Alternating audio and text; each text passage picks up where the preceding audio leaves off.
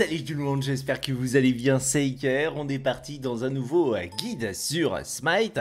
Et dans cette vidéo, nous allons parler de Skadi. Alors Skadi, euh, c'est euh, tout simplement une Jotun qui a été recueillie par Odin dans le lore. je vous conseille de regarder le lore, il est plutôt cool. Et c'est un personnage intéressant.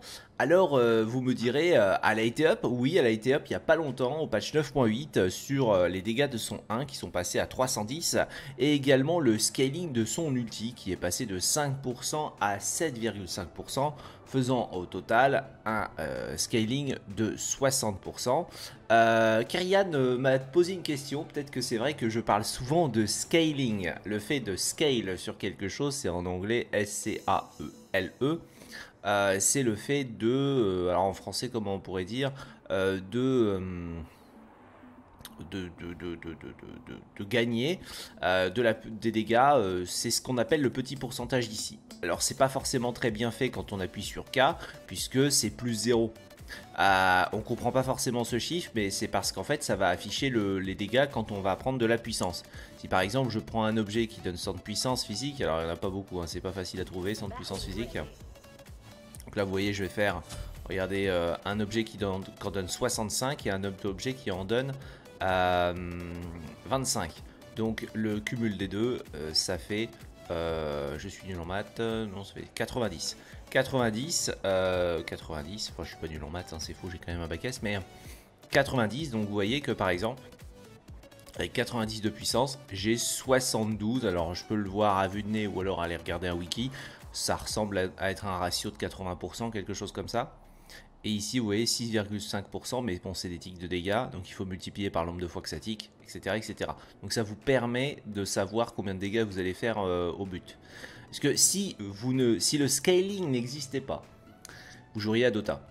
C'est-à-dire un jeu qui est basé essentiellement sur les compétences. Parce que si vous aviez un sort qui fait 310, on est bien d'accord que une fois que vous l'avez maxé, c'est-à-dire au level 8-9, euh, bah, vous faites 310 de dégâts. Mais level 10-11, bah, vous ferez toujours 310 de dégâts. Level 20, vous ferez toujours 310 de dégâts.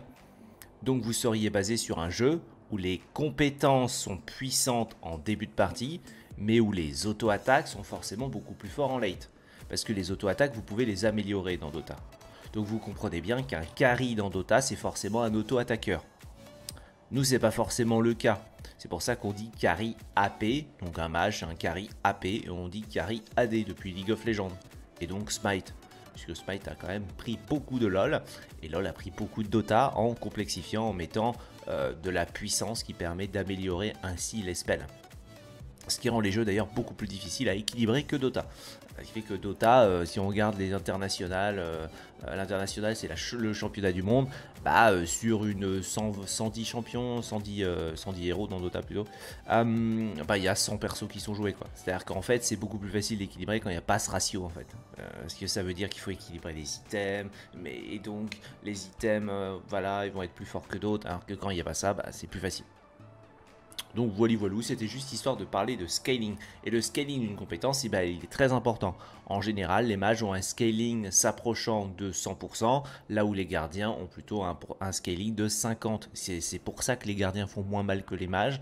Euh, et euh, pareil, les gardiens euh, gagnent plus d'armure par level et gagnent plus de PV par level, ce qui fait que les gardiens, finalement, au bout du compte, tant mieux que les mages.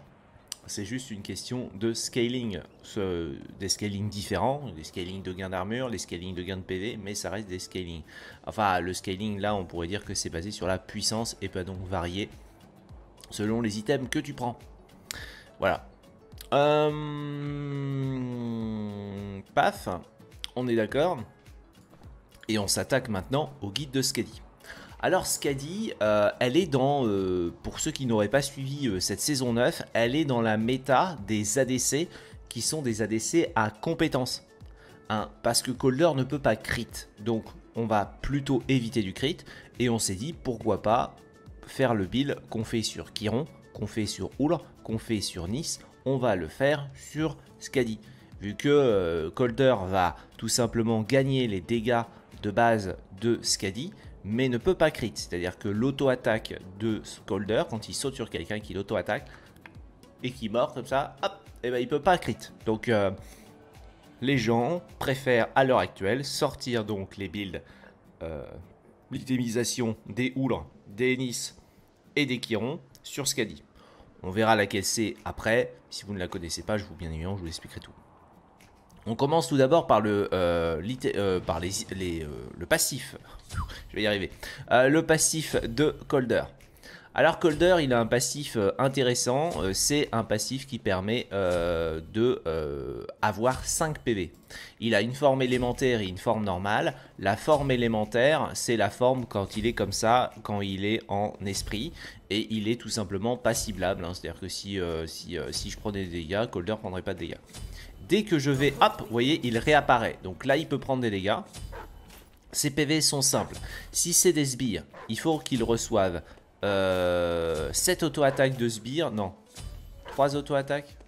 Je sais plus combien d'auto-attaques, mais bref, je crois que c'est 5 attaques par, euh, par, du, par sbire euh, pour que ça lui retire un PV. Ça doit être écrit quelque part. 1 euh, PV toutes les 5 attaques, voilà. Sur les sbires, c'est 1 PV toutes les 5 attaques, 5 x 5, 25, donc il faut qu'il ait subi 25 auto-attaques pour repasser en forme euh, élémentaire. Euh, pour les dieux, c'est autre chose. D'ailleurs, il faut le savoir, là c'est privé, expliqué ici, c'est 1 PV par attaque ou compétence. Donc ça veut dire que si tu te prends un 6ème 1 de Scylla sur Colder, bah tu perds 2 PV.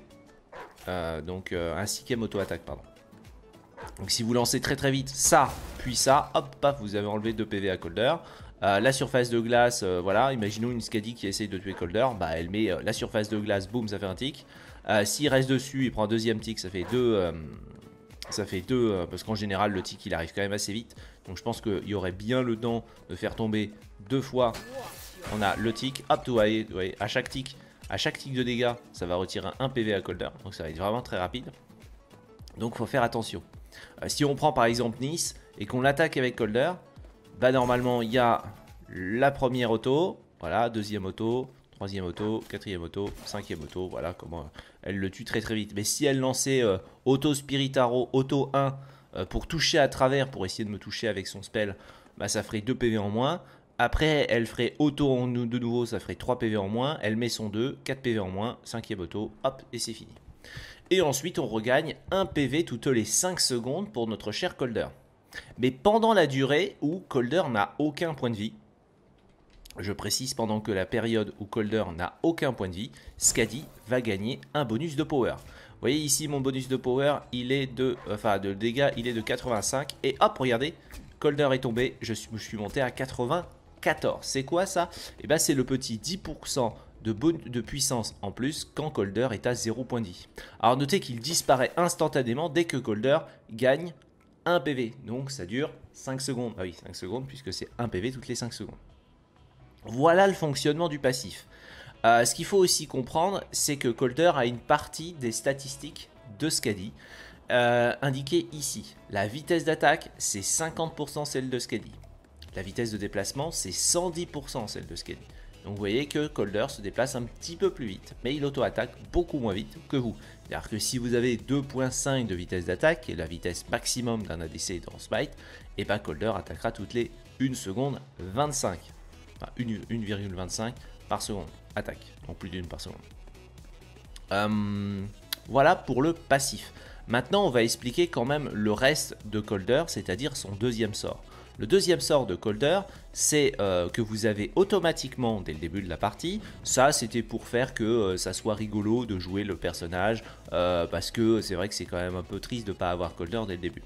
Donc ils ont fait qu'on avait Colder dès le départ, comme on a le 3 de tir dès le départ, le, sort de L dès le départ, etc., etc., comme la plupart des personnages à stance. Alors c'est vrai que c'est pas un personnage à stance, mais ça ressemble un petit peu vu que vous devez de gérer deux personnages à la fois. On peut quand même dire que les développeurs d'Aires ont fait du sacré travail sur Colder, puisque on est sur un personnage euh, qui doit, vous devez gérer deux, personnes en même temps, et ça c'est bien, parce que euh, dans les MOBA, bah, il y en a beaucoup, hein. il y a l'Android, euh, bon, dans, dans, dans, League of Legends, ils ne se sont pas fait chier à créer des personnages qui ont deux entités, parce que c'est très difficile à gérer à la souris en vue du dessus, deux unités en même temps, mais Mais dans Dota, il y en a beaucoup. Il y a l'Android, euh, voilà, il y a Rexar euh, qui euh, peut, est Beastmaster, qui peut avoir un petit sanglier, un petit oiseau et il, peut, il doit les contrôler en même temps. Donc il faut faire des, groupes d'unités comme on faisait dans les RTS à l'époque avec contrôle 1, contrôle 2, contrôle 3. J'appuie sur 1, ça me, ça me, ça me, ça me, ça me met Rexar, je contrôle le 2, ça me met le sanglier, etc. Et donc on va faire 3, on va gérer trois trucs en même temps comme dans un jeu de stratégie on pouvait gérer jusqu'à 200 unités. Hein, voilà. Mais euh, c'est pour ça que je, dis souvent que les MOBA, on est allé vers la simplification. On est passé d'un jeu où on devait gérer 200 unités, l'économie, etc. On est passé à un jeu où il faut gérer une unité. On trouve ça dur. donc, euh, donc, voilà. Euh, mais on a quand même réussi à recomplexifier le truc, je suis d'accord. Mais c'est juste pour, le foutage de gueule de passer du MOBA, enfin du RTS, de jeu de stratégie où tu gères plein de trucs, à une unité maintenant dans un MOBA. Euh, donc on a euh, Colder qu'on va pouvoir euh, déplacer et choisir une cible. Alors la portée est énorme puisque c'est une portée de plus de 70. Vous voyez que là par exemple, enfin normalement le, bout du cercle il est, il est vraiment à 70 mais vu que c'est un cercle, bah vous doutez bien que je peux toucher jusqu'à plus loin. Là vous voyez je peux encore envoyer. Voilà donc Colder il y va, il prend un petit peu de temps, il fait une petite charge sur la fin mais là, j'ai bon, j'ai quasiment 80 de portée. Donc Colder, euh, il a une sacrée portée. Euh, on rappelle qu'il suffit juste de rappuyer sur la touche pour que Colder revienne. Hein, voilà, et il revient.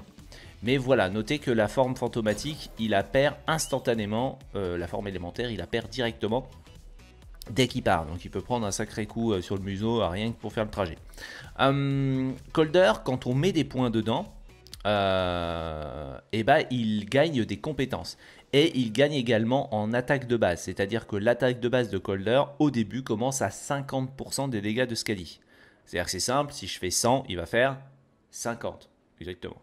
Et en fin de partie, il fera 80% de mes dégâts de base quand j'aurai fini de maxer mon 2. Et ensuite, chaque rang dans les compétences, euh, chaque rang qu'on va mettre au level 1, 3 et 5 va améliorer euh, et va donner une compétence passive, parce que ça fonctionne de manière passive, à Colder. La première, c'est que dispose d'une ruée. Ça veut dire que là, quand je vais réactiver l'attaque, regardez, Colder saute à partir de, on va dire, 20 de range, il, saute sur l'adversaire. Ça, il ne l'a pas avant. Il le saute. À partir du moment où tu mets le point, boum, qu'il a la petite ruée comme ça. La petite ruée est quand même très pratique parce qu'elle permet d'aller sur l'ennemi plus rapidement. Voilà, il n'y a pas eu le saut. Ah oui, parce qu'il y a un CD dessus ah, il y a un CD sur le son. Ah, il y a un CD sur le saut, j'avais jamais remarqué. Il est là. Le CD de la rue, il est là. Ah non, ou ça c'est autre chose. Les attaques de base augmentent la vitesse de ce qu'a dit. Ah, c'est le truc d'attaque de base parce que j'ai déjà monté level 20, c'est ça? Ah non, c'est pas indiqué. Je sais pas s'il y a un CD sur la rue. J'ai l'impression qu'il n'y a pas de CD sur la rue. Regardez. Là, il n'y a pas eu de rue par exemple. Je pense qu'il y a un CD sur la ruée. C'est vraiment ça le CD. Là, il devrait y avoir un saut. Voilà. Ça n'a pas mis en CD par contre là. il n'y a pas eu de saut quand même. Bizarre. Et à chaque fois qu'il auto-attaque, il n'a pas le droit de ressauter. Là, il ressaute.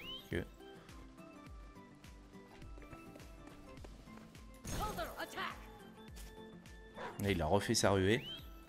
Et là, il n'a pas le droit de la faire, on est d'accord? Ouais, c'est ça. Ça doit être le CD de la ruée. Je savais pas qu'il avait un CD sur la ruée, je, viens de l'apprendre.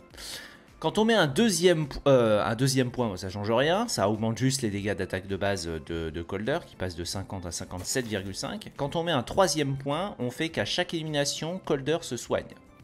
Et enfin, euh, le troisième, euh, Colder améliore, tant qu'il est vivant, il améliore la move speed de Scadi, je crois, de 10%. Je vais vérifier parce que là, c'est pas indiqué. Euh, au rang 3, Colder Attack give 10% decrease move speed. Ouais, c'est ça. Quand Colder Attack, vous gagnez 10% de move speed augmenté sur Scali. Voilà donc l'intérêt de mettre des points dedans.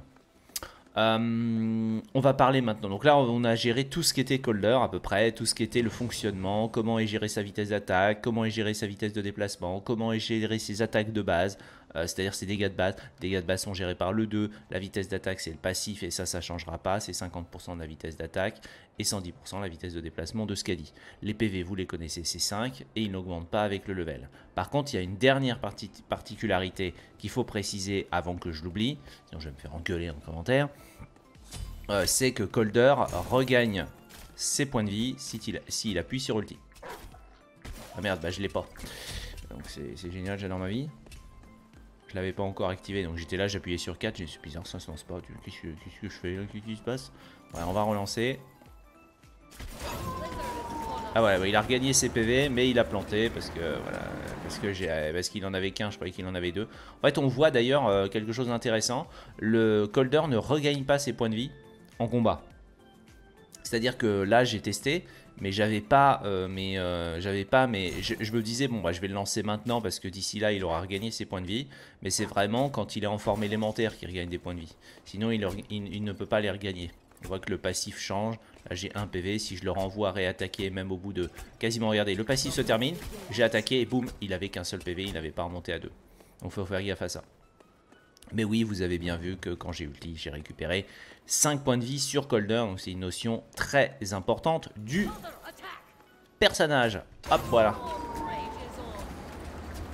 Il était revenu, mais pourquoi il était revenu là? Qu'est-ce qu'il nous a fait là, Colder? Pourquoi il a fait ça? Pourquoi il est revenu alors que j'ai juste appuyé sur ulti? Il y a un bug là sur le PS, sur ce, sur ce mode, euh, vu que c'est un bot ce truc? Peut-être. Voilà. Pourquoi il revient à moi Parce que je cible, parce que je me cible moi Ah ça, ça le fait plus automatiquement sur la cible qu'il est déjà en train d'attaquer. Ça le fait sur la position que tu regardes. On est vraiment là, on est vraiment sur ce délire là. Ah ouais d'accord, donc si j'appuie euh, genre là. D'accord, ah oui d'accord. Ah, faut rappeler que ça a changé ça avec le temps parce que Colder c'était pas vraiment comme ça avant. Euh, je croyais que, ouais, d'accord. Moi, je croyais que si tu avais ciblé quelque chose, ça le faisait automatiquement euh, autour de lui. Euh, mais non, en fait, il faut cibler la zone. Maintenant, c'est devenu un skill shot. C'est devenu un skill shot depuis combien de temps? Deux, deux, ans, je crois Un an et demi, deux ans, je sais plus. Mais avant, c'était pas comme ça. Avant, ils l'ont up parce que maintenant, il fait un énorme bond vers la zone. Et ce qui le rend beaucoup plus fiable, viable d'ailleurs, puisque on a vu que le 2 le 2, je pouvais l'activer euh, de très très loin. Hein. Le 2, on peut l'activer à plus de 90 de range euh, quasiment sur le Odin. Mais la surface de glace, vous voyez que là, c'est plus 70. Vous voyez là, hop, là, on est à peu près au centre. Non, c'est plus 60. Le centre, ah non, quoique le centre, le centre, ouais, non. Le centre, il est... Ouais, c'est plus 70, je dirais. Hop, et voilà, et ça chope la personne qui est la plus proche de la zone. Et ça crée une grande tempête de glace. Et cette tempête de glace route les ennemis. Euh, sur ma position autour de moi et sur la position... Euh, et sur la position de Colder, ça va mettre un enracinement. Cet enracinement va monter avec les levels et les dégâts vont monter avec le level. On passe de 1 à 2. Donc par exemple, si je fais ça, lui il est route et lui il est route aussi. Juste pour le dire, il y a un route sur les deux. Alors le route se cumule pas, mais les dégâts peuvent se cumuler. C'est-à-dire que si je fais ça sur lui, bah lui il se prend les deux là. Vous voyez les deux ticks de dégâts. Donc ça finit par faire quand même assez mal. Si tu prends Blizzard en entier, euh, voilà. Donc c'est un sort qui est quand même puissant puisque euh, on va atteindre en late game. Euh, tenez-vous bien si vous prenez les deux ticks de dégâts en même temps. 800 de dégâts avec un ratio de 120%. Donc c'est faut pas rester dans la zone pendant, pendant toute la durée de l'ulti. Euh, ça fait mal. Et en outil défensif contre un guerrier qui vous saute dessus, bah, vous faites ça. Et en late game, il va prendre très cher. On verra euh, quand on aura pris les compétences et le scaling et qu'on testera sur un petit peu sur, euh, sur les différents personnages. Donc là, on va dire qu'on a fait tout le tour de Colder. Maintenant, on passe à deux autres notions, deux autres spells, pardon, le 1 et le 3. qui sont des spells. le premier, c'est le sort de dépêche de Skadi. C'est un pic que vous allez envoyer c'est une lance que vous allez envoyer, euh, voilà, et qui fait euh, jusqu'à 55 de portée, enfin classico quoi, et qui fait des dégâts et qui ralentit les ennemis d'un scaling de 20 à 40, ouais de 20 à 40 classique, de 20 à 40% de slow. Le 40% de slow, c'est quasiment le maximum dans le jeu en général. Et vous voyez que vous avez ouais, 55 de portée dessus. Euh, c'est euh, votre outil de dépush, puisque ça va toucher, ça va traverser les sbires. Euh, ça traverse les dieux. Ouais, ça traverse les dieux. comme ça, vous pouvez toucher deux dieux à la fois. c'est le sort que vous allez en priorité, que vous utiliser en priorité, c'est des 14 secondes, voilà, rien d'autre à dire là-dessus. Et on passe maintenant au pergilisol. pergilisol. Bon, le, la patinoire, on va l'appeler hein, en français. Euh, enfin, on va l'appeler en français, euh, français compréhensible. Euh, la patinoire. Alors, la patinoire, merde, j'ai mis trop de points dedans. Puisque la patinoire a, une particularité. Quand on met des points dedans, la zone s'élargit. Donc, au début, elle est toute petite. mais la patinoire est très rigolote parce qu'elle va fixer le déplacement de la cible au moment où le truc est créé. Donc si je le lance sur l'Odin là, il va glisser par là il est reparti dans l'autre sens, donc hop, il a reglissé dans ce sens-là. Donc à, partir du moment où vous avez donné un input, ce qu'on appelle un input, c'est une direction, vous avez donné une direction, et ben vous allez glisser jusqu'à la fin de la surface. Vous ne pourrez pas changer de trajectoire euh, avec, euh, avec ça. Il existe des trucs rigolos comme mettre le mur d'Ymir là, là, à peu près ici, et vous allez faire rebondir l'autre et va repartir de l'autre côté. Donc il va perdre le contrôle pendant longtemps de son personnage. Voilà, c'est des petits trucs rigolos. Euh, la surface de glace n'est pas du tout une surface de glace pour vous. Vous pouvez vous déplacer dessus. Et euh, Scadi va gagner un bonus de vitesse de déplacement qui dure normalement 3 secondes de plus. Euh, et qui est un bonus de vitesse de déplacement qui monte jusqu'à 40%. La surface inflige des dégâts de burst. Boom, 56. Et ensuite des tics de dégâts quand on passe dessus.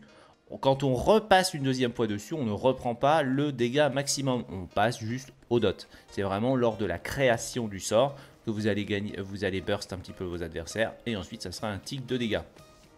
Plus vous mettez des points dedans et plus le rayon devient grand, passant de 16 à 20 de rayon. Euh, c'est sympatoche. C'est pas le sort qui fait le plus mal du monde, mais c'est sympatoche.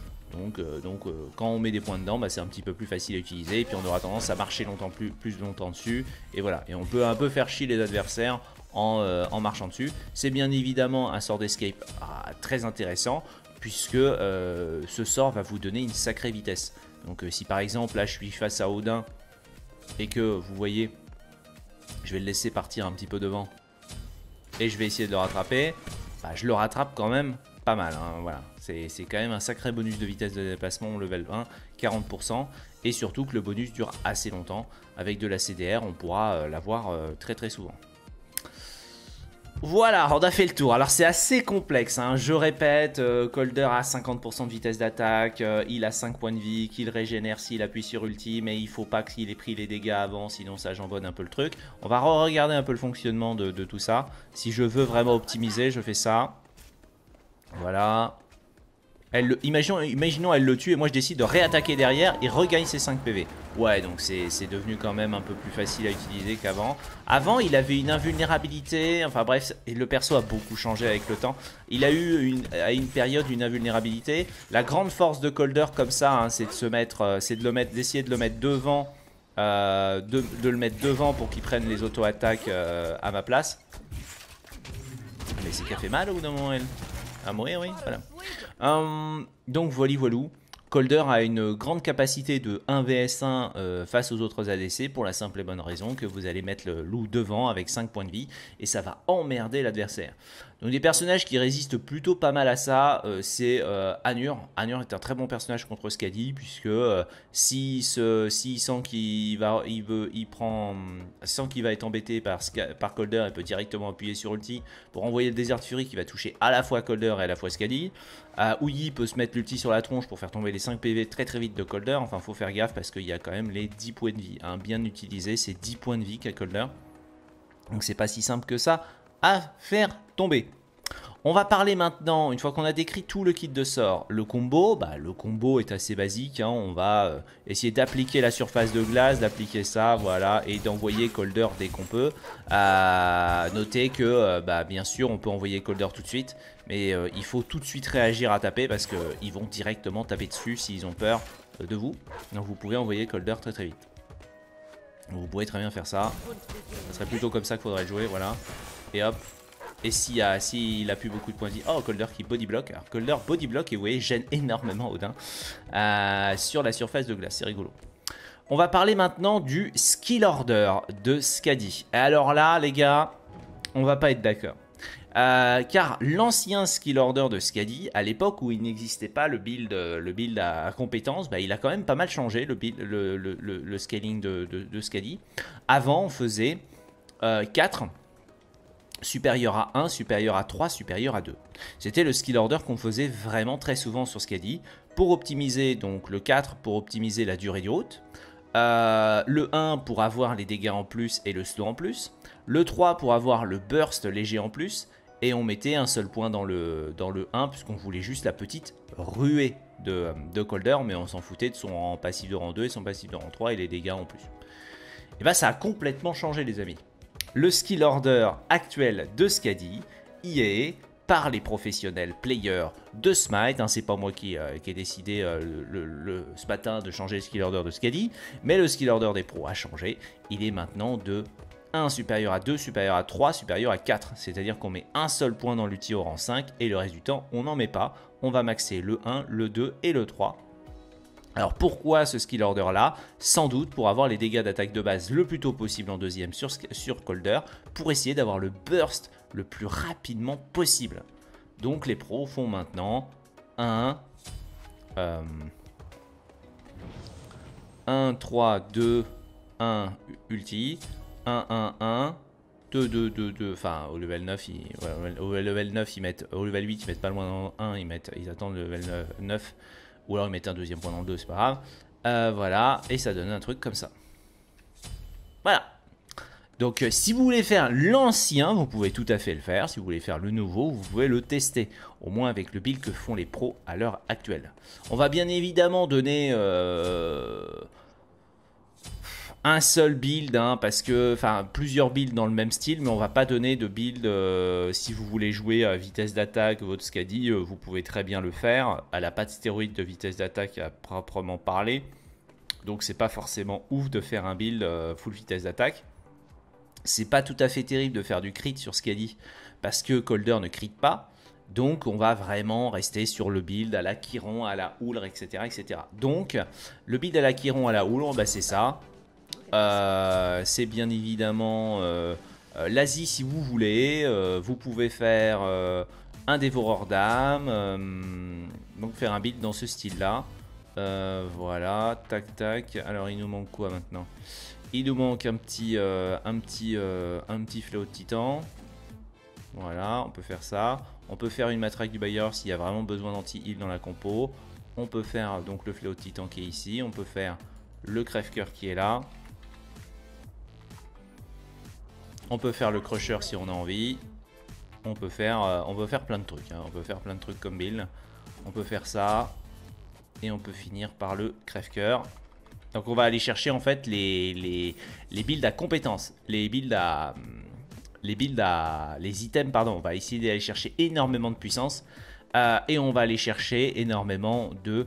Euh, de... de de, pénétration, puisqu'on aura 10% euh, sur le dévoreur d'âme, 10% sur le fléau, 10% sur le crève-cœur. Et donc là, euh, les tanks vont quand même prendre assez cher face à nous. Et alors là, vous faites quand même très très mal, hein, parce que... Ah, faut que j'envoie le loup, mais le loup, regardez, à chaque auto-attaque, il fait du 254. Donc c'est pas trop mal, après sur les tanks, il fera sans doute beaucoup moins mal. Donc ça par exemple, c'est euh, le, build, le build d'un d'une Skadi, comme on voit le build d'un Houl ou d'un alors pour ceux qui se demandent, euh, l'ulti fait-il mal avec un build euh, pareil? Bah oui, l'ulti va faire vraiment beaucoup de dégâts. C'est vrai que l'ulti est très sous-estimé en général par les gens. Euh, et si vous faites ça sur un, joueur, hop, voilà. Là vous voyez, ça fait 413 et après des tickets à 55, plus le 254. Donc l'ulti fait quand même très très mal au personnage. Donc vous me direz, est-ce qu'il y a des variantes de cette itemisation? Bah bien sûr, il existe des variantes. Hein. Vous pouvez très bien faire Transcendance Crusher, Transcendance Crusher et vous pouvez partir quand même en late game sur un fléau titan, euh, un crève-cœur, etc. Donc vous pouvez le faire dans cet ordre-là, plutôt le build. Vous faites comme ça, vous faites comme ça si vous avez besoin d'anti-heal. Ensuite vous faites euh, fléau de titan. Et vous pouvez très bien faire une forge de sang. Si vous avez envie, pour le 75 d'AD que ça donne, le vitesse de déplacement, etc. etc. Donc voilà, les, différents builds, c'est les, items, les items de pénétration euh, qui font quand même que vous faites énormément de dégâts très très vite. Euh, et ce sont des builds de full puissance. Donc ça va être Scadi. Dans ces cas-là, on la met dans la petite partie des ADC particuliers qui existent en saison 9, qui sont Oul, Kiron, Nice, euh, qui sont builds full, full, full, full puissance physique avec de la pénétration pour essayer de faire le plus de dégâts possible avec les compétences et non pas les auto-attaques. Alors si vous voulez un build, euh, tout ce qu'il y a de plus euh, conventionnel, euh, le build des, ADC normaux parce que vous n'aimez pas les ADC à compétences, enfin bah déjà faut peut-être pas jouer Scali mais voilà. mais si on vous devait donner un build normal entre guillemets, on irait chercher la capuche, ensuite on va chercher la transcendance, ensuite on va aller chercher le Seize de Kin, l'exécuteur. On va ensuite chercher le lys et le silver argent. Voilà, ça c'est le build euh, le plus, euh, un des builds les plus conventionnels de la méta actuelle. Voilà, le truc c'est que bah euh, la pauvre Scadi, bah, elle n'a pas de stéroïde de vitesse d'attaque, donc le silver argent il est qu'à 2.35, donc vous aurez du mal à l'avoir au maximum, et c'est bien évidemment le féroce qu'on prend. On va chercher le buff rouge. Ça, c'est le build sans crit, mais comme on l'a dit, euh, bon, bah, si vous voulez faire un build de crit, vaut mieux jouer Jingwei, vaut mieux jouer Karid, ou vaut mieux jouer des personnages qui crit. Pour un intérêt de faire du crit, non, c'est pas ça que je voulais. C'est pas grave. C'était mon purple, pour avoir mon stéroïde de vitesse d'attente. Ouais, si vous avez envie de faire un build comme ça, ça marche très très bien. C'est un build qui, est hyper conventionnel. Euh, euh, voilà, vous avez peu de lifesteal, c'est sûr, mais bon, par contre, vous, vous avez une grosse vitesse d'attaque. Et Colder, bah, même si, même si l'auto-attaque un peu moins fort, on voit 211, bah, il auto-attaque plus. Si vous avez 2,35, donc il auto-attaque toutes les 1, 17. Une auto-attaque 18, 17. Voilà. Voilà, voilà je préfère donner le build parce que qu'on me dit Spiker, euh, tu forces les gens à jouer euh, le build, le build de compétences. Mais non, mais c'est à l'heure actuelle, les gens ne jouent que ça. Hein. Les pro players ne jouent que ça euh, sur Scadi. Ils n'essayent pas de faire un build vitesse d'attaque qui synergiserait beaucoup plus avec d'autres personnages. Si tu veux jouer Scadi, tu la joues plutôt full comme on joue un AMC. Ouais, voilà, tous les persos cités, AMC. Euh, voilà, si vous regardez un peu la scène professionnelle, vous savez très bien de quoi on parle. C'est des trucs vachement relous à gérer parce qu'ils ont un burst phénoménal. Euh, et beaucoup de pénétration, donc ils font quand même très très mal aux guerriers. Bien sûr, ils perdent face à des ADC triple crit euh, s'ils se mettent à les duels, mais bon, on sait très bien que le but de jouer quand on joue ce genre de truc, c'est de leur faire très très mal à deux. Et bah, si Skadi balance un, un, ulti sur quelqu'un euh, qui est build compétence, déjà euh, il y a une bonne partie des dégâts qui sont mis tellement loin que bah, euh, elle peut pas peut pas réagir en essayant de tuer Scadi, mais voilà. Donc j'espère que cette vidéo vous aura plu. N'hésitez pas à me dire en commentaire si vous êtes plus build comme celui-ci, build de crit ou plus le build à compétence. Si vous avez déjà fait le build à compétence avec donc, on l'a dit, le pendentif avec Marine et derrière on va chercher euh, on peut faire une colère de Jotun, mais c'est plus sur Kiron qu'une colère de Jotun va. Je trouve que sur AMC, on peut se passer d'une colère de Jotun. On va plutôt faire Transcendance et Dévoreur d'âme pour essayer d'avoir du scaling. Euh, Transcendance, Dévoreur d'âme, c'est vraiment très très bien parce que ça vous, euh, dans, les, dans les games à Elo où on va pas trop vous embêter, parce que ça va vous donner un scaling phénoménal pour le late en fait. qui fait que vous allez avoir beaucoup, beaucoup, beaucoup, beaucoup de puissance et donc vous allez faire très très mal avec vos, compétences. Et en général, euh, quand on fait très très mal, c'est-à-dire que quand on a l'impression que ce qu'il a dit nous, nous touchote, euh, bah on a très peur d'elle en fait, et donc on, on, comprend pas vraiment, les gens comprennent pas forcément à Baello comment et ça se fait que vous faites aussi mal parce qu'ils analysent pas forcément les builds et ils connaissent pas forcément toutes les méta. Donc ça fait, euh, vraiment peur. Hein. Mais face à quelqu'un qui maîtrise, bah, il sait très bien que si euh, il égide ton combo 1 euh, ulti ou un truc comme ça, bon bah il y a une grande partie des dégâts qui vont disparaître du perso. Voilà voilà. Eh ben, j'espère que cette vidéo vous aura plu. Nous on se retrouve dans quelques jours pour un nouveau guide Smite sur la chaîne. des bisous. Ciao. Et pareil, dites-moi si vous préférez le skill order ancien 4 3 4 1 3, 2, ou le skill order 1, 2, 3, 4. Voilà. Allez, euh, ciao